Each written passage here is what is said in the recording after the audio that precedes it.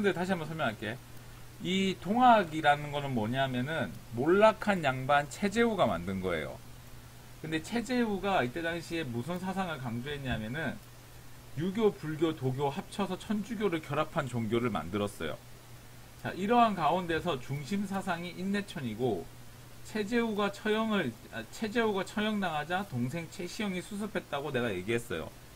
근데 이 과정에서 동경대전, 용담, 유사, 그다음에 요거 중요하다. 요거 보기에 많이 나온다 했다. 포접제를 만들어서 동학 내 통신망을 이용했어요. 어, 이능이님 고맙습니다. 어, 지금 이 정도 했길 망정이 한 반쯤 가서 녹화하려고 했어 난리 났겠다. 그럼 이제 어떻게 되냐? 난리 났네, 난리 났어. 이렇게 난리 났네 난리 났어 되는 거죠. 그리고 포접제를 통해서 동학을 믿는데 숨어 있는 사람들끼리 연락망을 이제 하고 있습니다. 자, 이러한 가운데서 이제 동학들이 모여서 종교적 자유를 달라는 운동이 일어나는데 그게 바로 동학 교조 운동이에요. 그래서 학생들 이거를 가로로 이렇게 적으세요. 가로로. 가로로 이렇게 칸 하지 말고 뭐 이렇게 하는 거지. 공주 삼례 집회 해놓고 옆으로 쓱. 그 다음에 보은 집회 뭐 이런 식으로 하는 건데 이걸 내가 정리해 놓은 게 있나? 잠깐만 좀 찾아볼게요.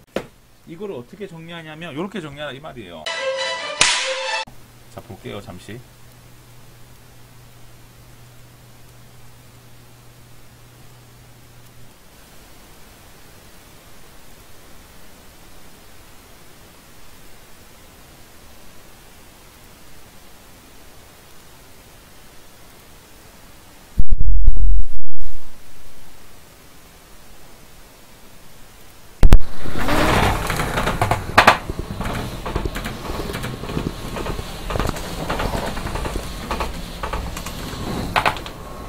자.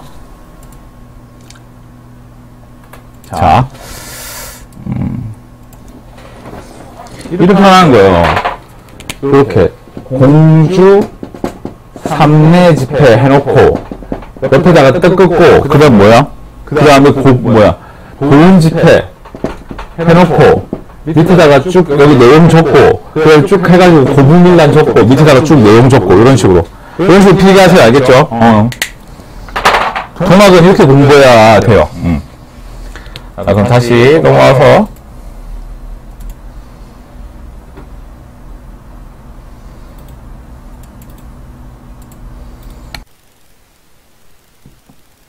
자 볼게요. 음. 자 다시 화면 돌아와서 자 고부밀란 고부밀란 때 이제 조병갑의 갑질이 있었어요.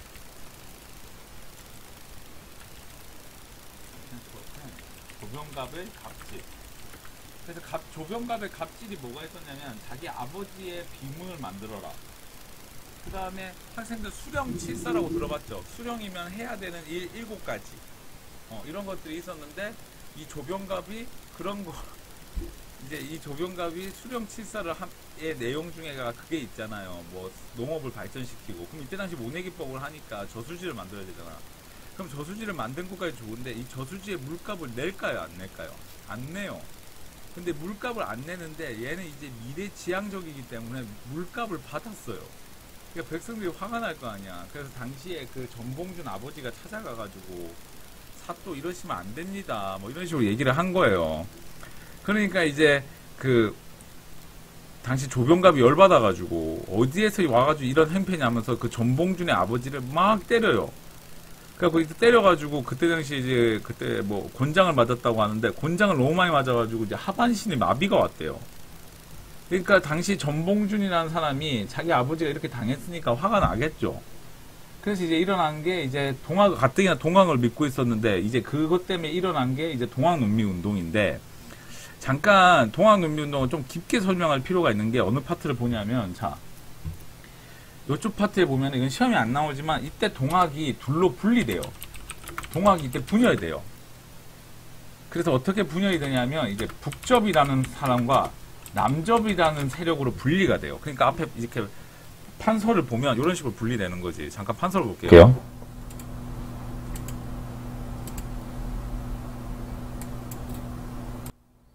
자, 봅시다.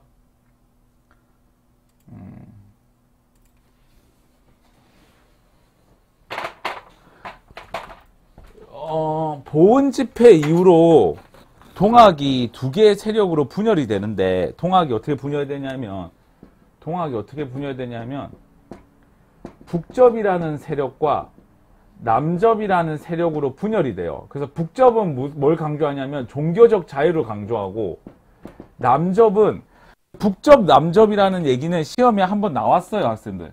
북적 남접이라는 얘기는. 그리고 남접에는 정치적 성향을 띠게 돼요. 학생들 다시 얘기한다. 북 북접 남접이란 단어가 나오면은 그 동학이야. 근데 북접은 무슨 성격, 남접은 무슨 성격 그거 공부하지 말고 남접에 누가 있었냐면 이 전봉준이라는 사람이 있었어요. 북접에는 누가 있었냐면은 그 최시영, 최지우, 최지우, 최재우 동생 최시영과 나중에 민족 대표자 33명 중에 한 명이었던 손병희 선생님하고 이렇게 세, 두- 이렇게 이 사람들이 북접 세력이에요. 남점에는 전봉준 이렇게 있었고. 그런데 이게 바로 고부 밀란이 터졌는데 이 고부가 어디 있냐면은 전라도의 고부예요. 전라도. 이게 전라도의 전라도. 근데 이 고부가 그때 당시 전라도에서 수령하는 게 뭐 그때 당시에 일화인데 전라도에서 수령하는 것이 중앙 관리보다 낫다는 말도 있었어요. 왜? 전라도가 뜯기가 좋으니까. 그래가지고 이때 당시에 전라도에서 수령하고 있던 조병갑이 갑질을 하니까 당시에 동학을 믿고 있던 전봉준이 조병갑을 향해서 난을 일으키는데 그게 바로 고부밀란이 되는 거예요. 그게 바로 고부밀란. 음, 아시겠죠? 그게 바로 뭐다? 고부밀란이다. 자, 그러면 다시 이어서 좀 볼게요. 자, 조병갑의 갑질로 당시에 그 농민 그 전봉준이 봉기를 하게 되는데 이 봉기하는 과정에서 자기 동료들한테 편지를 보내 그 편지를 보내는데 그게 바로 사바의 통문이에요. 음. 사바의 통문이 뭐냐? 어, 요거예요. 사바의 통문. 음. 근데 이제 학생들 중에 질문하는 학생들이 있는데 전봉준은 어떤 사람이에요? 이 사람 몰락한 양반이에요. 그럼 뭐겠어요? 잔반이겠죠. 잔반. 그래서 여기에 보면 이렇게 동그랗게 뭐가 이렇게 적혀 있잖아요. 지금 이렇게 동그랗게 이렇게. 그럼 이렇게 적혀 있는 거 나오면은 동학을 찍어야 돼요. 그럼 동학에 뭘 찍어야 되겠어요? 포접제, 뭐 용담유사 이런 거 찍어야 되겠지. 학생들 동학은 시험에 한 문제 나옵니다. 무조건. 동학은 이때까지 한 번도 안 빠진 적이 없어요. 동학은 무조건 한 문제 나와요. 근대사에서. 그러면 동학은 어떻게 시험에 나와요? 순서 나열하는 거. 순서. 그러면 당시 동학 근데 이제 학생들 중에 그런 질문을 하는 학생들이 있던데 이제 그걸 지금부터 할 건데 그러면 지금 동학이 나는 일으켰으니까 동학 운동이라고 해야 되는데 왜 동학 논민 운동이라고 해요 하고 질문하는 학생이 있더라고. 근데 이제 그거를 지금 지금부터 제가 할 거예요. 자 봅시다. 자 고부밀란 때 사발 통문 요거 중요하다. 요거 그 다음에 백산에서 집결을 하게 돼요. 백산에서 집결 이게 뭔 말이냐면 동학이 난을 일으켰다는 소식을 듣고 그동안 불만이 쌓여있던 농민들이 대거 가세하게 되는데 그게 바로 백산 집결인데 이 백산 집결의 내용을 좀 알 필요가 있어요. 왜 백산 집결이 뭘 알아야 되냐면은 당시에 이 고부밀란이 터지자 백성들이 이제 이때 당시에 그냥 듣기만 하세요. 고부밀란이 터지니까 정부가 이걸 조사하러 왔어요. 그래서 정부가 조사하러 왔다가 이 모든 책임은 전봉준에게 있다고 전가를 시켜요. 그렇게 전가를 시키다 보니까 이거에 대한 불만으로 동학은 더 난을 크게 일으키고 그게 백산 직결이에요. 여기에서는 몇십 명이 했다면 여기에서 이제 수천 명이 하는 거예요. 수만 명이 하는 거예요. 그래서 정부의 태도에 여기서 정부라는 건 민심이다. 정부의 태도에 이제 불만을 제기하고 이 과정에서 백성들이 모여서 뭘 주장했냐면 제폭 구민, 포갑된 정치에서 백성을 구하다. 그 다음에 보국 안민, 나라를 보호하고 백성을 편안롭게 한다. 이러한 내용들을 이제 얘기하게 됩니다. 그러면서 이 동학군들이 모여가지고 이제 진격을 하게 되자 이제 정부가 이걸 막기 위해서 황토현 전투가 일어납니다. 황토현 전투. 이 황토현 전투 일어나는데 이거는 정부군하고 여기서 정부라는 거는 그 그 뭐야 시- 조선군대 얘기합니다. 정부군대 이제 동학군하고 싸우게 되는데 이때 당시에 동학군이 이기게 됩니다. 이거 왜 이기게 됐냐면 당시에 정부군이 신식 무기로 무장하고 있었는데 이 정부군이 동학군을 좀 졸로 봤어요. 그러니까 좀 약하게 봤다고. 근데 이때 당시에 동학군이 이제 무장한 무기를 보면 음. 자, 그걸 이- 설명하기 전에 이 얘기를 해야겠다. 왜 동학문민운동이에요? 이렇게 아까 얘기했던 거 있죠. 그거 다시 얘기해 볼게요. 지금 어디에서 모였어요? 백산에서 모였죠. 백산. 백산에서 모였는데 여기서 모이라고 한 애가 누구야? 동학이죠. 근데 밑에 누가 온 거야? 농민들이 온 거죠. 그래서 동학이 지도부가 된 거예요. 그래서 동학 농민운동이라 하는 거예요. 그러니까 내가 동학을 안 믿고 있었지만 기존의 정부의 형태에 불만을 가, 정부의 형태에 불만을 가지고 이거에 대해서 이제 어떻게 한다? 정부에 대해서 불만을 가지고 이제 정부에 향해서 비판적으로 나오다가 그거를 이제 앞으로 주도하는 사람이 동학이라고 하니 내가 이제 동학을 믿겠다 이렇게 되는 거예요. 그게 바로 이제 동학 운미 운동이에요. 그래서 이때 당시에 백산에서 집결을 했고 그 다음에 황토현 전투에서 승리를 했고 황토현 군대에서 이제 동학이 이기게 되는 거죠. 그래서 동학이 이기고 그 다음에 어디로 가냐면 이제 전주성으로 들어가게 되는 거예요. 전주성. 근데 전주성에 입성한 게 조- 조선의 입장에서는 두 가지의 의미가 있어요. 조선 정부 내에서는 자 봅시다. 첫 번째 전주성에 이제 입성을 하게 돼요. 어, 전주성에 입성을 하게 되는데 입성한 게 조선 정부에게 어떤 의미가 있냐? 첫 번째 전라도를 모두, 모두 잃은 거예요. 그다음 두 번째 여기가 전주 이씨의 그거잖아요. 이 전주 이씨 그러니까 조선의 시작이잖아. 조선의 심장이에요 여기가. 그리고 또 뭐가 있냐면 그 태조 이성계에 어전이 있는 곳이에요. 그곳이 어디냐면 이제 경기전이라고 하는데 어전이란 건 뭐냐면 태조 이성계의 그 태조 이성계의 그림을 그려놓은 곳이죠. 그게 경기전인데 어떻게 된 곳이냐면 한번 볼게요.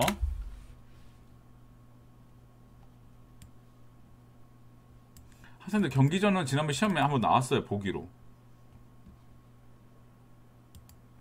왜 확대가 안 되니?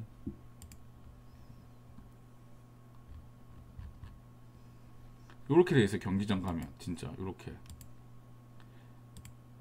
여기 들어가면 태조 이성계 이렇게 어전이 있어요 어전 음. 그래서 여기를 이제 뺏겼다는 것은 이제 자기 조상님들이 쉬는 곳을 뺏겼다는 얘기겠죠 그래서 이제 동학의 정부의 입장에서 이걸 찾, 찾아야 되는 거죠 근데 문제는 뭐냐 이걸 찾을 힘이 없다는 게 문제겠죠 그래서 얘 또 중요하다. 이건 청나라에게 도움을 요청합니다. 민씨 정부가. 이 민씨 정부가 제 개판이야.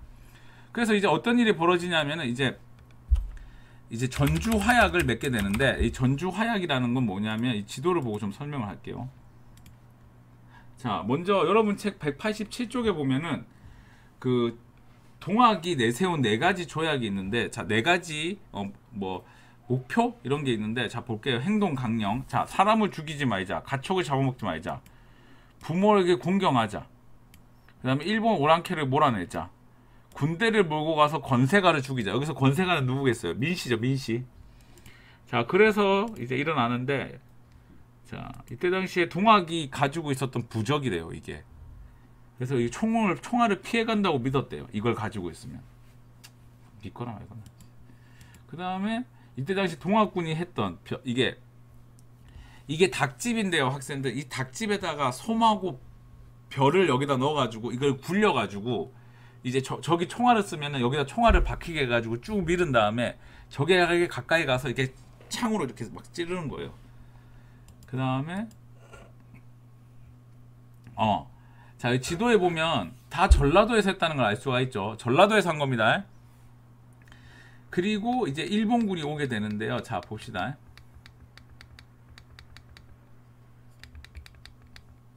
지금 보면 청나라에게 도움을 요청했어. 누가? 민씨 정권이. 근데 지금 청나라 군대가 이제 온다고 하니까 일본 군대도 오는 거야. 자, 여기서 질문. 이게 중요해. 청나라하고 일본 군대 청나라 군대가 오는데 일본 군대도 온대. 이게 뭐 무슨 조약이에요? 이게 중요해. 이게 무슨 조약이에요?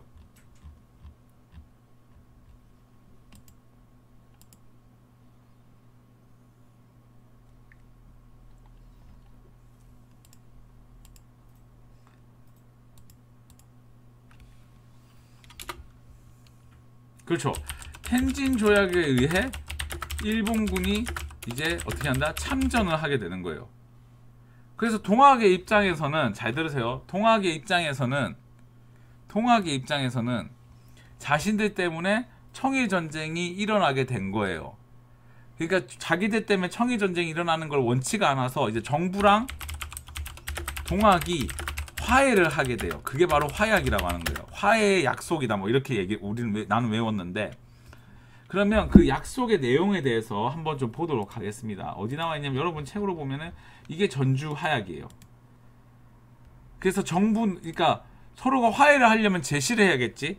동학이 정부에 이걸 제출 정부에 정부에게다가 뭘 제출하냐면 패정 개혁안을 제출해요. 패정 개혁안. 그러니까 네가 고쳐줬으면 좋겠는 거 이런 걸 제출하게 돼요. 그럼 그 내용이 뭐냐? 바로 이거예요. 자 봅시다. 동학도는 정부와 원한을 싣고 서정, 정치에 협력한다. 탄가놀이의 재산을 엄징한다. 횡포한 부호를 잡는다. 부호는 부자입니다. 불량한 유생과 양반을 징벌한다. 뭐 이런 건 다 알겠죠. 근데 이제 노비 문서를 패- 소각한다. 노비 문서를 소각한다는 거는 이제 이 신분제 타파를 주장하는 거고 칠종천인 특히 요거 백정이 쓰는 평양갓 평양갓이 뭐냐면 요거요. 백정이 쓰는 백정이 쓰는 또 갓이 따로 있거든. 그럼 이걸 쓰고 다니면 사람들이 어이구 백정이네 하면서 이런 거예요. 그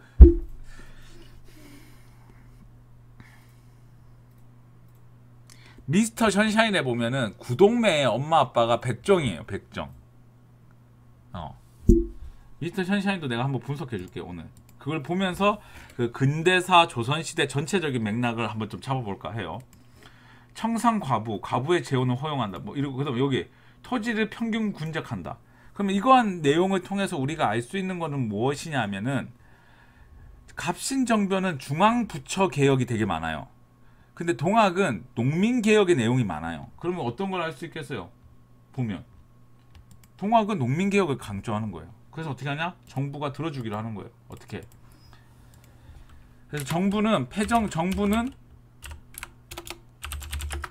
이를 수용합니다. 어, 수용을 해서 이제 뭘 하냐면 이를 수용하여 이제 뭘 만드냐 이게 중요해. 정부는 교정청이라는 걸 만들게 돼요. 이 정 그러니까 동학의 얘기를 수용할 수 있는 정부 기구를 만들게 되고 자 이게 중요하다.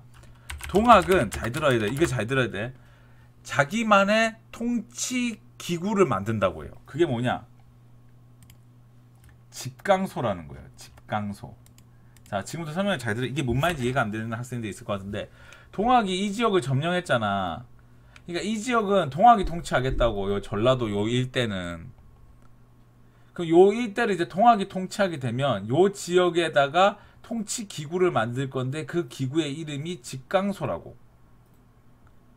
그러면 서- 이건 나라를 세운 거야. 전라도만 동학이 통치하는 거야. 이 전라도만 동학이 통치하는 거예요.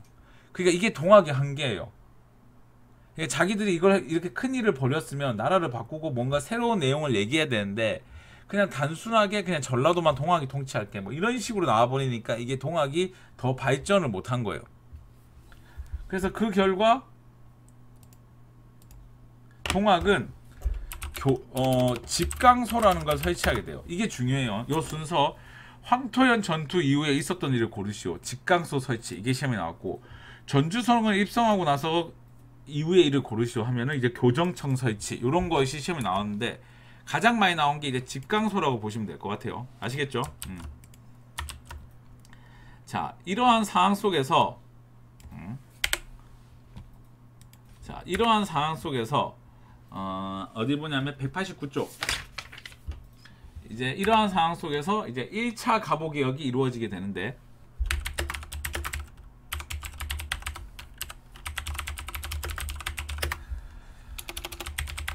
자 경복궁이 점령당합니다. 자 경복궁이 왜 점령당하냐 갑자기 자 이때 당시에 조 일단 자 이거 이것 좀 볼게요. 이것 좀 적을게요.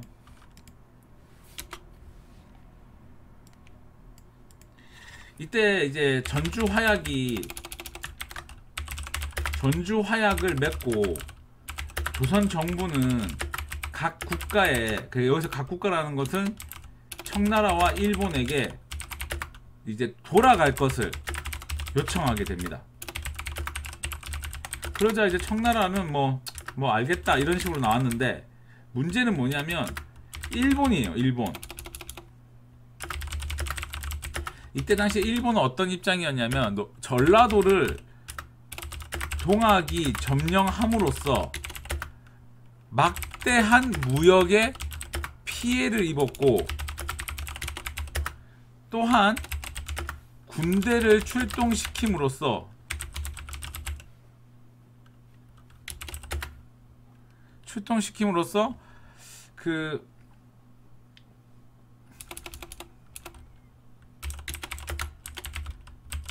출동시켰기 때문에 이제 그 뭐라고 할까 비용이 들었다는 거죠. 이를 조선 정부에서 책임져 달라고 했어요. 그럼 당연히 우리 정부는 어떻게 했겠어? 뭐래 했겠지 우리 정부에서는 뭐래 안 해 뭐 이런 식으로 얘기했겠지. 그러자 이제 이제 일본이 이제 경복궁을 공격하게 돼요. 이제 이러한 걸 안 해줬다는 이유로 그래서 경복궁을 공격해가지고 이때 당시에 경복궁이 점령을 당해요. 근데 이 과정에서 고종과 명성왕후가 이제 포로로 잡히는 결과를 이제 초래하게 돼요. 그러면 지금 어느 나라의 영향력이 커진 거예요? 일본의 영향력이 커진 거죠.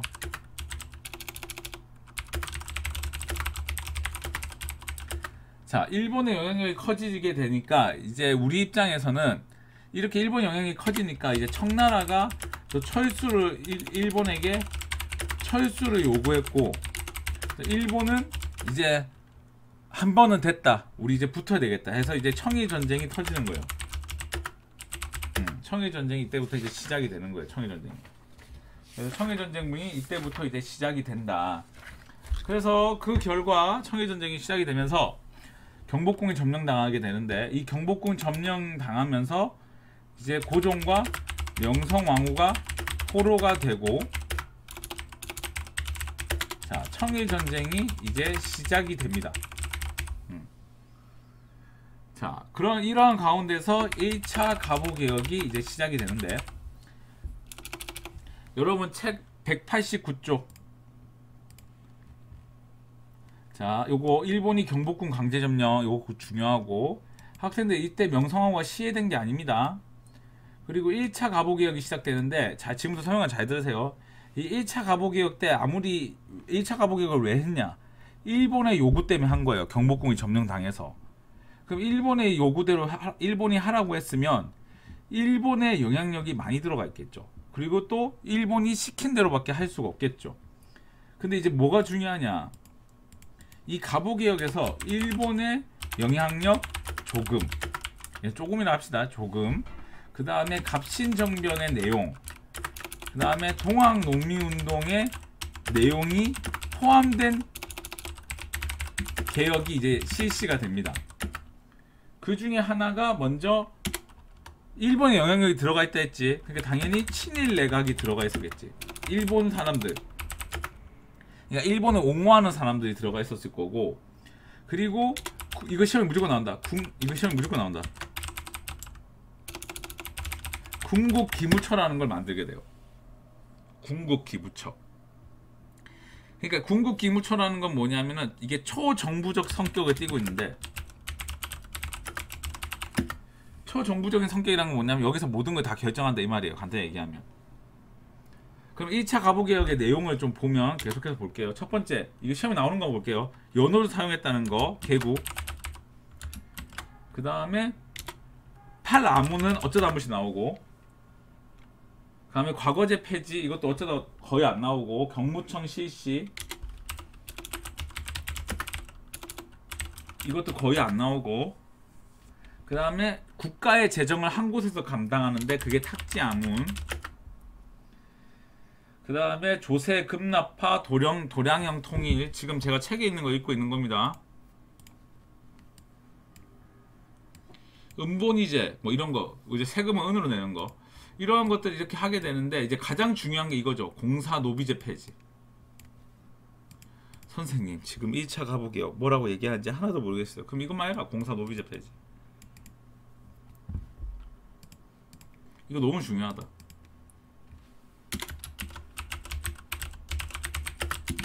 그럼 공사 노비제 폐지라는 건 뭘 의미하냐면 이제 한국 사회에서 그러니까 한 그러니까 조선 역사 그다음에 앞으로 미래 역사에서 이제 노비가 존재하지 않는 시기가 이제 이때부터 시작이 되는 거야. 그래서 이 공사 노비 제도가 시험에 너무 많이 나오는 거야. 그럼 말 나온 김에 합시다. 공노비 폐지는 공노비를 풀어준 사람은 순조죠. 노비제 노비제도 전체가 없어진 거는 이제 1차 가부기역이에요. 1차 가부기에서 제일 중요한 건 노비제 폐지. 이렇게 보면 될 것 같고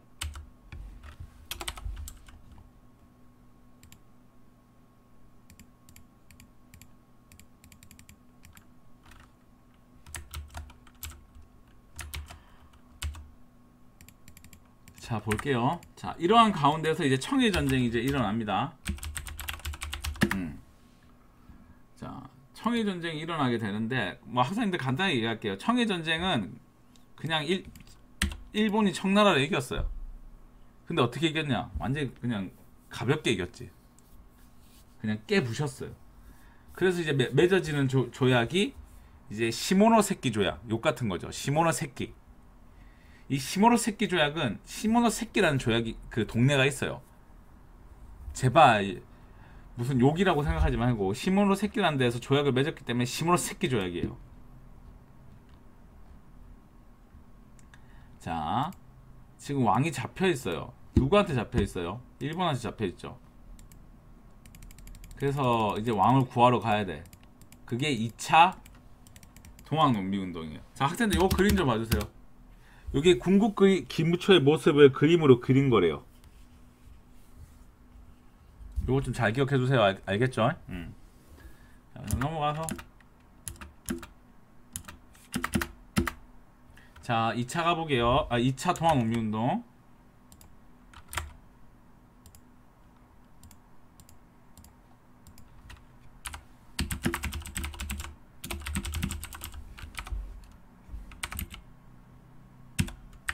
자, 2차 통합 농민운동. 일단은 이 사람들이 내가 알기로는 논 일단 남접하고 아, 북접하고 남접이 집결을 합니다. 그래서 북접에는 손병희, 남접에는 이제 전봉준 이런 사람들이 이제 모입니다. 모여서 뭘 하냐면 반외세를 주장합니다. 반외세라는 건 뭐냐면 일본을 물리치자.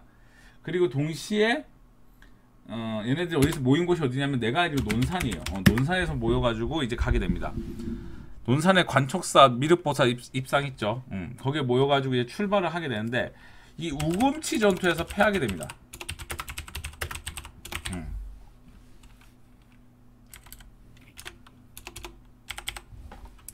이때 조 이때 일본군과 정부군이 연합을 해서 이제 동학하고 싸우게 되는데 이때 동학이 간 병사 숫자가 내가 알기로 어 4만 명인가 5만 명인가 하여튼 뭐 그 정도가 가게 돼요. 근데 일본군하고 정부군은 이때 당시 얼마 몇 명 있었냐면 3천 명, 4천 명밖에 없었는데 그 일본이 이기게 돼요. 왜 이기게 되냐?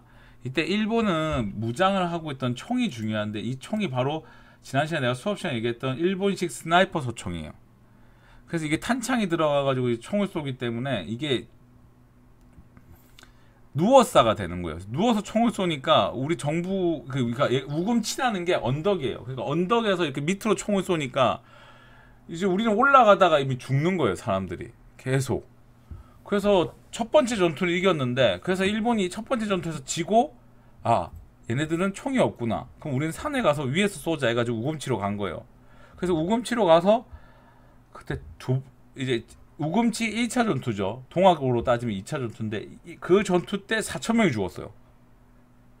그 동학 농민운동 때 이제 한 2만 명 가까이 죽은 거지. 그래서 이 죽은 사람들을 이제 또 잡아가지고 일본 사람들이 이렇게 볏집을 세워가지고 머리에 불 붙여서 죽이고 막 이런 식으로 해요. 그리고 이때 당시 동학의 영역이 이- 이만큼이었는데 자 여기서 질문 하나 할게요. 이 동학의 영역에 이제 뭐가 뭘 설치한다고? 직강소를 설치한다고 직강소. 근데 학생들 잠시만 얘기할 게 있는데 동학은 여기만 있는 게 아니고 전국적으로 다 있어요. 그래서 이때 당시에 왕이 잡혔다는 얘기를 듣고 이 동학이 일어난 거예요. 왕을 구하기 위해서 여러 군데에서 그 여러 군데 중에 한 곳이 어디냐? 이 함경도 지역에서 이제 누가 일어났냐면 이제 여러분이 아는 그 김구 선생님이 이때 동학이었거든. 그래서 김창수라는 사람이 여기에서 동학농민운동을 이제 시작하게 되는 거예요. 여기서. 그래서 그 김창수를 잡으러 온 사람이 누구냐? 안중근 선생님이 되는 거예요. 자 그런 과정에서 이렇게 정부군한테 밀렸고 마지막 이제 학생들 우금치 전투가 동학의 끝이라고 하는데 우금치 전투가 마지막이 아니라 바로 이 전봉준 선생님이 잡힌 거예요. 그래서 전봉준 선생님이 이때 일본군한테 잡혀가지고 두드려 맞아가지고 이게 하반신 마비가 오셔가지고 그렇기 때문에 이렇게 가마를 타고 가시는 거예요. 이렇게. 음. 그러면 우금치 전투에서 이제 동학이 패배하게 되고 전봉준이 이제 사형을 나가는데 이 사형을 집행한 사람이 누구냐면 그 이때 당시 사, 얘를 이 전봉준한테 너는 사형 이렇게 선고한 사람이 누구냐면 이제 조병갑이에요. 조병갑. 음, 참 인, 인생이 참 아이러니하죠. 그리고 살아남은 동학들은 두 개의 방향으로 나눠지는데 사마, 살아남은 동학은 이제 활빈당이라는 조직을 이끌게 되고 그 중에 또 다른 사 다른 사람들은 이제 의병에 가담하게 됩니다. 자 그러면 자 앞에 좀 잠시 볼까? 어, 그 다음에 자 요거 제 2차 가보 개혁을 볼게요.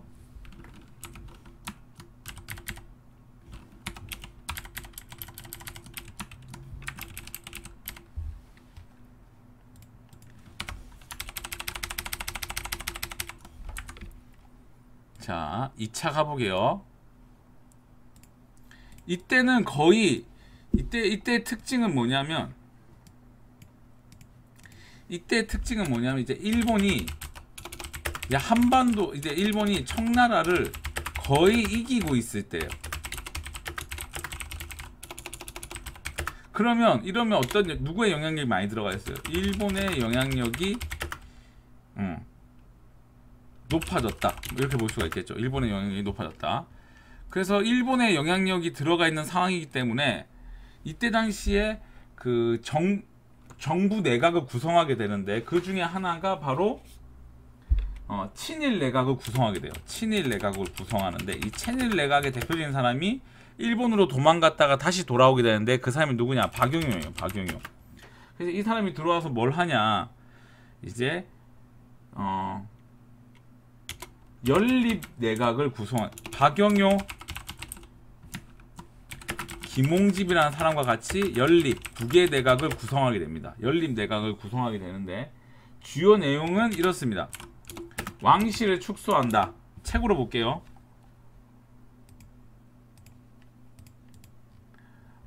왕실을 축소한다. 그 다음 팔 안문 밑에 7부를 둔다. 시험에 나오지. 전국을 23도, 전국을 8, 23도로 개편한다. 음. 어쩌다 한 번씩 나옵니다. 그 다음에 23부네요. 어, 3, 3부로 개편한다. 뭐 재밌는 얘기 해줄까? 23부를 개편할 때 이제 마삼부라는 게 처음 나옵니다. 음. 3부로 개편한다.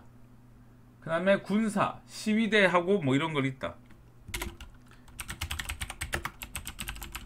음, 시위대하고 훈련군을 만들고 뭐 경제 뭐 이런 거 있는데 경제는 시험에서 안 나오고 요거 시험 무조건 나오지.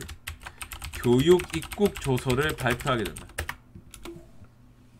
선생님, 솔직히 1차 가보기요, 2차 가보기요 잘 모르겠어요. 그럼 이것만 해라. 군국 기무처하고 공사 노비제 폐지, 교육 입국 조서. 아 참 학생들 이 군국 기무처 때 대, 대표자가 누구냐면 김홍집입니다. 음.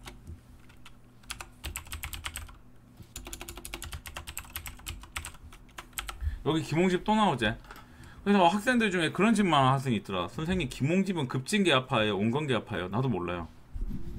이 사람이 하는 행동을 보면 어쩔 때는 급진이고 어떨 때는 온건이기 때문에 난 잘 모르겠어요. 근데 내가 느낀 김홍집은 그냥 수단과 방법을 가하지 않고 우리나라가 개화만 될 수 있으면 뭐 뭐든지 하겠다 뭐 이런 느낌인 것 같아요. 그래서 교육 입국 조서를 발표하는데 이 발표하고 나서 만들어지는 학교가 이제 시험에 나오는 거예요.